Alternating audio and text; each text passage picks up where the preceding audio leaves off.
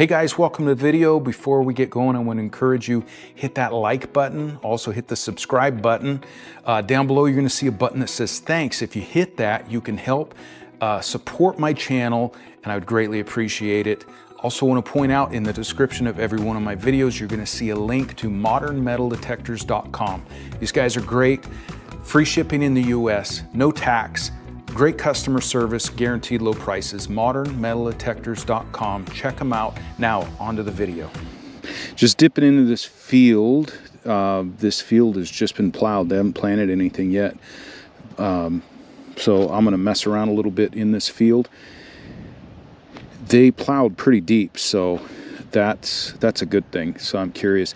It's really hard to walk in this kind of ground for me personally. I have a bad back but I'm going to give it a shot as best I can because they did plow it so deep. It's really turning up a lot of things that uh, would have would have been more difficult before. This thing I just hit, I have to go back and look on my detector, but it didn't show. Oh no way! It didn't show iron. You know what? Just looking at this, I think I know this. I think this is an old iron. Man, that's cool. If that's what this is, I'll bet you anything uh, what, 20 yards behind me, near where I parked, uh, is an old house, an old shack that the property owner, um, won't get into too many personal details, but yeah, that house goes way, way back. Uh, and then there's another house that's just, just all fallen down, but that's that's out here on this property too, and that dates back to the 1800s. It's it's vacant, but it was all his his family lived out here. I'll look into it more. I'll clean it up. Um, I don't know. I'm just guessing, but I'm seeing a kind of a, a spot here and a spot here. Maybe that's where the the handle went. You know. These old irons, this is a type that you'd you'd actually set on a stove to heat up just a big old piece of iron. You'd heat it up and then take it off and use it. But that's cool. Definitely cool. Okay. All right, on to the next. Hey guys, check out this iron now that it's all cleaned up. I'll put some pictures up of it. Uh, this is just beautiful. It has spent a long time going through the, the electrolysis process that I have uh, going. I've got another video that specifically covers my attempt uh, or my journey into electrolysis, cleaning up old iron relics. Anyhow, this thing turned out awesome. Uh, this is what's called a sad iron. Now, sad is an Old English word meaning solid or heavy. So when it comes to antique irons, that's what this is. It's a sad iron. Now, some had a detachable, you can see the two studs right here, some had a detachable wooden handle. This is just a huge chunk of cast iron, uh, probably from the 1800s, and I was surprised to find this. This was just a really neat surprise, and uh, it looks beautiful now, and it's going with all my other relics to display. High 40s up to a 50.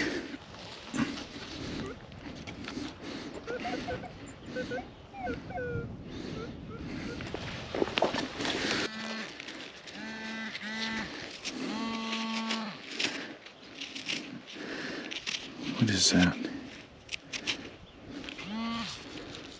It's got some weight to it.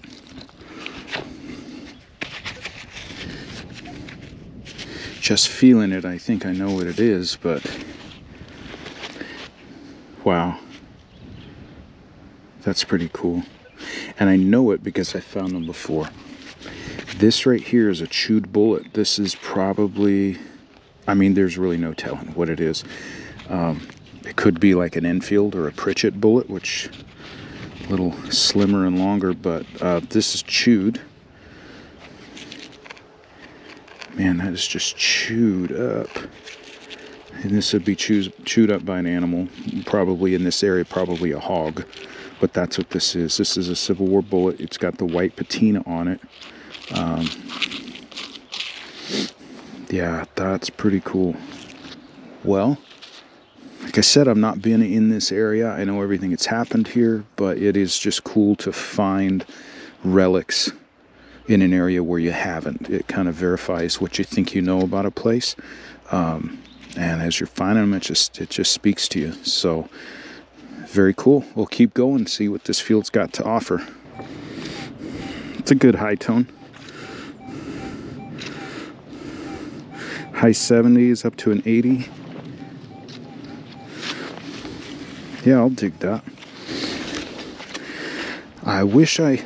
Holy crap. That's, a. uh. Doggone, that's a bunch of ants. Those are a bunch of fire ants. Son of a gun. Well. Now what to do? Oh man, I dug straight down in the middle of those things.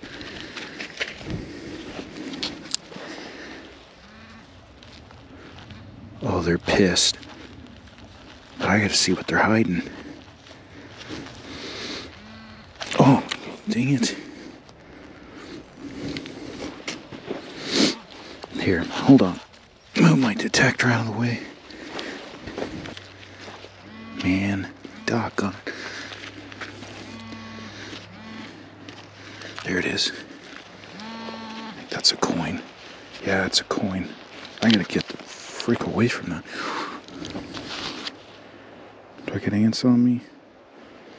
Yeah, I don't know if you guys have ever gotten into fire ants, but not fun. So this is a dime. Hmm. What's the year? Can it be old? Can it be a silver? Got this old magnifying glass just for that. Doggone it. 1993. Dang. So all that for a 1993 dime. So, oh well. I pulled it out before I, you know, in the midst of all these fire ants.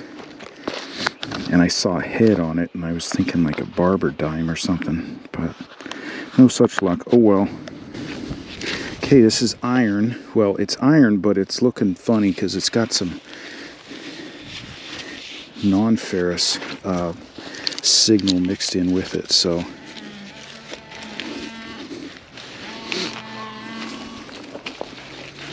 Okay, it's in my hand. Here we go. What the heck is this? That's a big old chunk.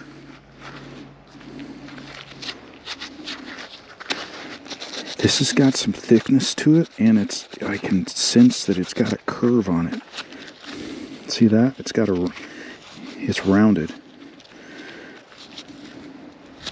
Yeah, I think this could be a shell fragment. Sweet.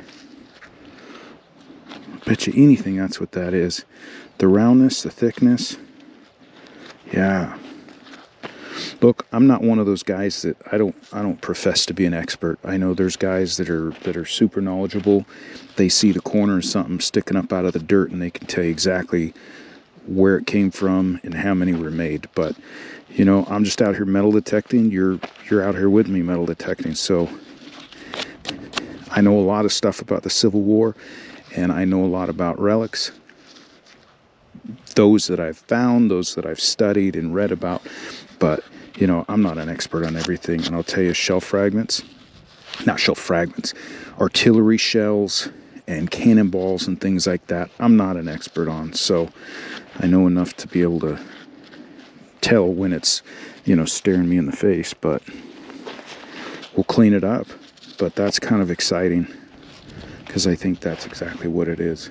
I could just draw a line to where the uh, that artillery shell was with the case shot around it. It was just straight there.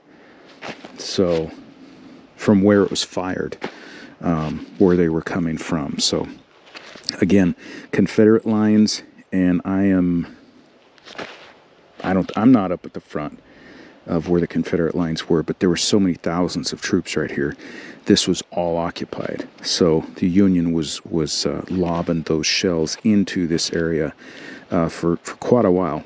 So, um, yeah, that's why I'm kind of curious what was in this section of the field that I've not detected before. But uh, let's keep going.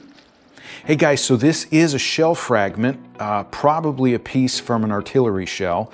Uh, very neat find. I'm excited to have it. I brought it home, cleaned it up through electrolysis. It got all the rust off. And then I boiled it in paraffin wax so it sealed it up and it's not going to rust again. Now, where I found this, I have found other shell fragments before. Um, I know where the Union guns were set up and they were raining down fire, shells, cannonballs.